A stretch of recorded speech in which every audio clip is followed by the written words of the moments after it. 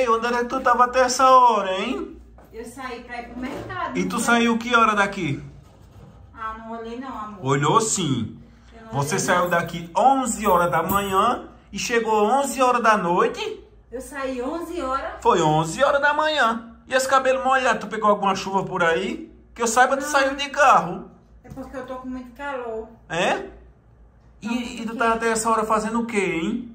Eu tava no mercado, não saí pra ir pro mercado, não. Você saiu para o mercado, sim. Então. E tu tava fazendo até essa hora o que lá? Eu? Hã? Eu tava na fila. Fazendo o que até essa hora na fila? Esperando pra passar as compras na fila. Eu não sei o que aconteceu. Deu um pane lá nos caixas, Ah. travou tudo. Não passava cartão, não passava nada. Os caixas estavam travados. E por que eu ligava pra tu e tu não atendia? Acho que meu celular descarregou. Descarregou. Travou tudo lá. Tava tendo uma promoção para concorrer um carro, alguma coisa assim, o povo endoidecer. Travou tudo. Por isso que eu tava lá até agora, que eu queria Mas não foi isso que falaram pra mim, não. Falaram o quê? Falaram que viu seu carro num lugar ali parado. Eu não. Não era eu não, porque eu tenho todo direito o cara falou, ei, teu carro tava em tal lugar parado. Ah, porra, não era ele, não. Aí eu disse- tenho- eu fiquei o tempo todo dentro do mercado. Como era que era eu? Aí eu disse, eu disse assim, foi minha esposa que foi fa- saiu pra fazer umas compras no mercado. Era no mercado. Ele disse, não, não era no mercado, não. Pergunta pra ela que ela vai dizer onde era. Olha, por isso que eu não gosto de sair pra fazer nada. Sabe por quê? Hum. Tu já começa a desconfiar de mim. Tu não acredita em mim.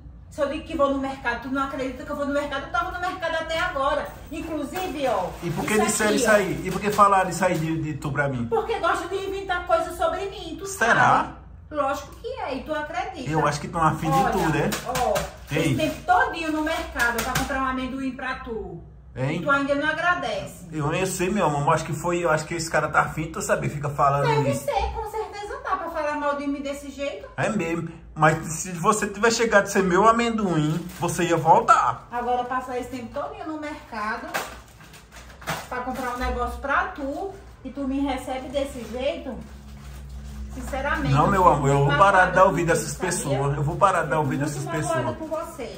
Não, eu vou parar de dar ouvido a essas pessoas. pra nós aproveitar. Bora, Um chega. ó, Um amendoinzinho que você tá precisando, você tá muito fraco.